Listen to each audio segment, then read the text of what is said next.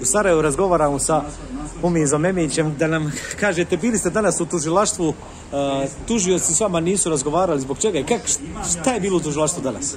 Pa evo od početka taj odnos sa kantonalnim tužilaštvom traje tako ni prirodna glavna kantonalna tužiteljica Dalida Burć nije htjela da me primi, primila me samo jednom na početku 2016. Ova nova glavna kantonalna Sabina Sarajlija nikada nije htjela da mi primi nekoliko dopisa me, sam je poslao. Evo danas smo tražili njenu ostavku iz profesionalnih razloga. I tražio sam opet zahtjev, sa sastanak sam predao da primi mene i moga advokata, evo da mi njoj pružimo ruku i da joj damo dokaze u ubistvu, iako ona više ne može voditi tu istragu, jer evo državno tužilaštvo je preuzelo, ono će voditi istragu. E, da li je po vama treba oštrije kazniti ubice vašeg sina ili one koji su zataškavali svo ovo ubistvo pet godina? A evo, prvo treba kazniti ove koji su zataškavali. A što je najstrašnije, to su ljudi koji su na vodećim funkcijama u pravosuđu. To je strašno što se dešava.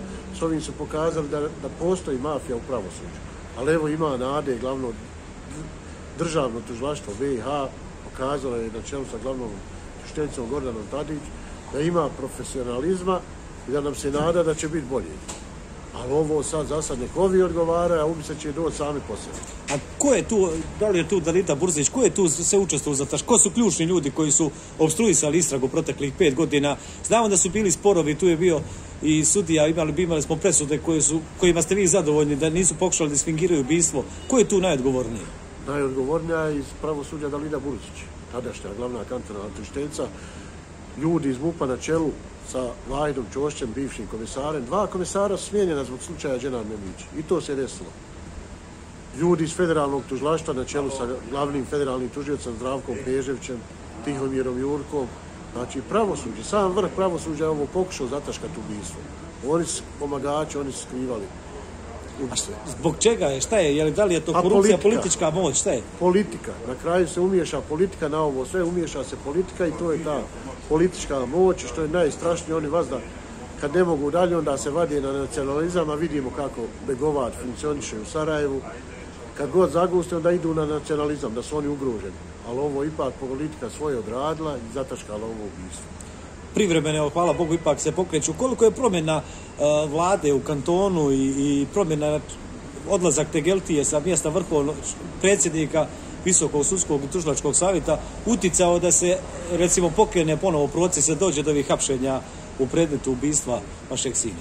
Pa drago mi je što to pitate, onaj, baš se desile promjene i u kantonalnoj vladi, u MUP-u se desile promjene, evo i u pravosuđu, odlaskom Milana Tegeltije, ja mislim da se otvorila vrata, jer ipak taj Milan Tegeltija je dosta, dosta umio remira u pravosuđu. I evo, on, njegovim odlaskom ja sam tražio njegovu smjenu i ostavku i pokazalo se da će to krenuti pravim Da. putem. definitivno ubistvo vašeg sina kao ubistvo Davida Dragičevića je uz, uz ne, pokrenulo čitavu javnost i donekle ogolilo E, stvarno stanje u pravosuđu, da je ona nažalost srasla s organizovanim kriminalom i ovo vi ste ipak svoju istrajnošću uspjeli da pokrenete stvari, vi i Davor sa, sa mrtve tačke. Pa vas da to Ifet kaže, ovo je jedan slučaj, ovo su braća Blizanci. Da se isto desilo i meni i Davoru, ali evo ja i Davor smo pokrenuli, što kažu vas da, vas da jedan čovjek pokrene, ajmo reći revoluciju, evo mi smo je pokrenuli. I mi se nadamo da ćemo doći do kraja i treba da se promijeni ovaj režim. Jer ovo nije sistem, ovo je režim u Bosni i Hercegovini. I mora im jedan dan doći kraj oni su svjesni valjda toga da ne mogu vječno trajati. Da.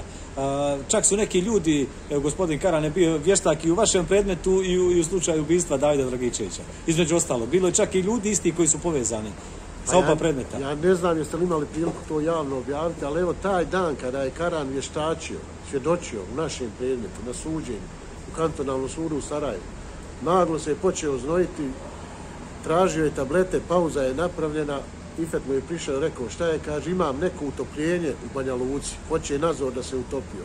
Još niko ne zna da je David nestao, da je, da je šta se je desilo sa Davidom. A on već ima informaciju da oni hoće da je utopljenje, da se utopio. Znalo se je to odmah i da je David ubijen, onaj, taj Karan, on nama nije nanio neku štetu, on je čak rekao da su žena na, na rukama odbrambene rane, tako isto i za Davida rekao da ima odbrambene rane, samo što nije stio da, da bio je zbunjen, nije do kraja dorekao sve.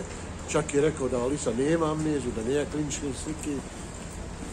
Da, vi imate svjedoke koji su svje- svjedoci tog ubistva, koji su bili spremni svjedočiti, Naž- nažalost to je tužilaštvo propastilo, ne moramo spominjati imena, ali imaju svjedok, svjedoci koji znaju šta se tačno dogodilo, kako je vaš sin nastradao. Moram vam reći, ovo malo ko zna, Karan je možda jedini čovjek koji, koji im je sugerisao, kad smo bili sa njim u Banja Luci, rekao je reci kako hoćeš, završit ćemo. Kada smo tražili od njega da vještači. To je jedini čovjek možda što mi je tražio novac. Ja sam rekao, doktore, mi se nismo razumili, meni treba istina.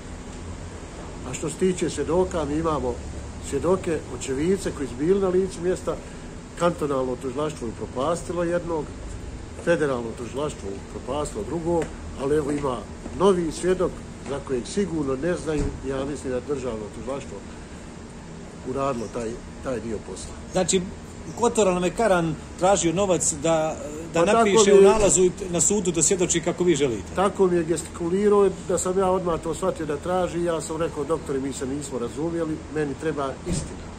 Ja hoću istina, ako je dženan udaren autom, da znam da je istina da se ja smirim. A ako je ubijen, hoću da znam. Samo mi istinu recite.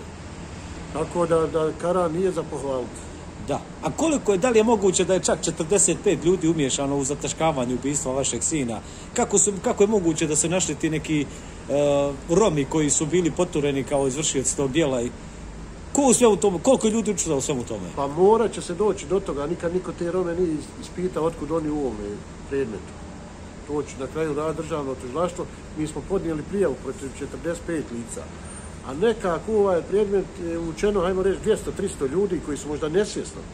Koji je išlo, hajmo završiti ovo, hajmo završiti ovo. I tako je to išlo. Ljudi možda nisu to htjeli ni učiniti, nisu znali šta radi.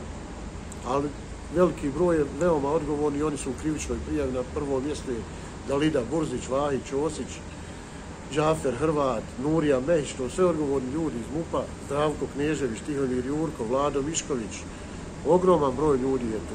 Pohvalili ste izvjesnog sudiju Todorovića da je pošteno sudio, da nije htio da pristane da u, Pa eto, ima, na, ima i čestitih ljudi u pravosuđu. vas da sam govorio od početka, da ima i u MUP-u još uvijek, i u tužilaštvu još uvijek ima česti ljudi, u sudu sudija Igor Todorović, to moramo se zahvaliti, još nije došla prilika za to, ali on je dva puta presudio da su uopšte nije mjesto saobraćaja nesreća. I, iako imao i prijetnje i pritiske, i on je svjedočio u državnom tužilaštvu da je vršen pritisak na njega da osudi Rome, pokazuje svoju hrabrost, čovječnost i profesionalizam na prvom mjestu. On je profesionalno uradio. Presudio je da nije bilo saobraćaja nesreća. hvala vam puno. I Hvala i nadamo se čisti da će istina i pravda ipak doći na svoje. I drago mi je što sam s vama se upoznao konačno. Hvala puno, hvala. Hvala.